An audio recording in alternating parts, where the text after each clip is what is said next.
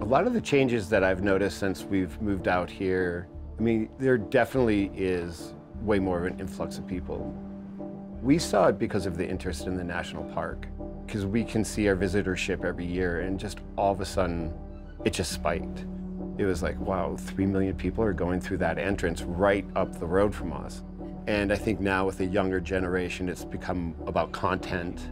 You know, we provide a backdrop for that. That's what we do. You know, we create an environment that lends itself to that. It's just like all of a sudden everyone was discovering it. Like they found it, like because they could post it, like, you know, first one here. And it's like, oh Lord, come on. Taking a picture of something is no new thing.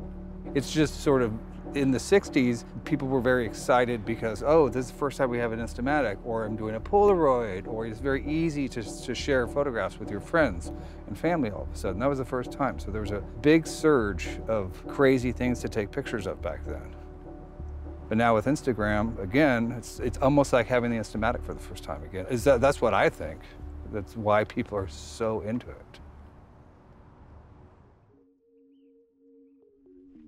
In terms of social media, I think that it spreads specific places much more quickly, maybe than we used to see, right? Because people can geotag and it draws a lot of interest to going to a specific place.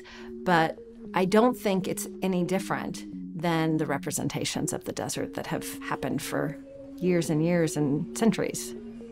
I think that this place has captivated people for a long time. What social media does is it's an accelerator in terms of spreading the word. And because Joshua Tree is so close to such major population centers, that really drives visitation, I think. When visitation tripled here, which happened in a really short period of time, about five years, the park and the staff here were very much in reactive mode. And we were also seeing a real change in some of the behavior in our visitors. You only have a few bad apples, but those bad apples can have a big impact. And I would separate that even more into those who are unintentionally damaging the park versus those who might be intentionally damaging the park. When I started working here in the 90s, I probably talked about graffiti a handful of times. Since 2016, we've had 880 documented incidents of graffiti in the park. We have to give a little credit to social media because in the last 10 or 15 years, like it really has promoted this romantic image of the Joshua Tree and Joshua Tree National Park and having a desert experience. But man, the downside is really rough to watch on places five or 10 years ago, there were a string of music videos that were filmed in the desert where people would come out even on private property, and wrap Joshua trees up in bows or spray paint them because they wanted it to look a certain way. Or the music festivals that have been promoted by social media and promoted by the success of Coachella. The music festivals have had some real impacts. You think about what it must be like at night to be in a very dark and very quiet place for a bat or a bird, the wildlife here.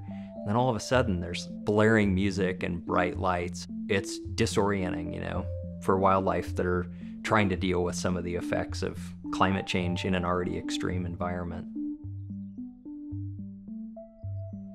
In some ways, the Park Service, I think, has done well to lean into social media and look at ways we can really provide more educational information for our visitors Continuing the inspiration of place is important, whoever's behind the camera. Our challenge is to inspire the stewardship to go along with that. And I think, you know, collaborating, getting our message out there, finding some way to connect with people in a similar fashion is kind of where we're trying to thread the needle with the Park Service.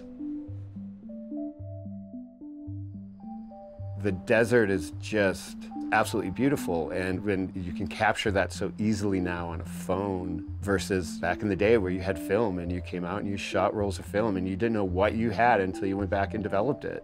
But the people that it attracted, it still seemed to be that really great person. I mean, yeah, there are some outliers. You know, there's going to be a party, there's going to be a wedding, there's going to be something that shouldn't be in a neighborhood. But generally, the people that just really want to be in the desert, they just want to come out here and unwind and reconnect and then recharge. And we see these people all day, every day at our store, and we talk to them. I mean, could you stop it? Could you stop Instagram?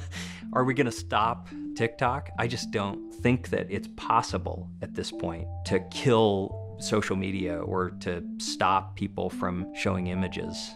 So I think while we cannot stop the influence of social media and influencers, I do think that we all need to be ready and hold people accountable when there's impacts that we can't tolerate.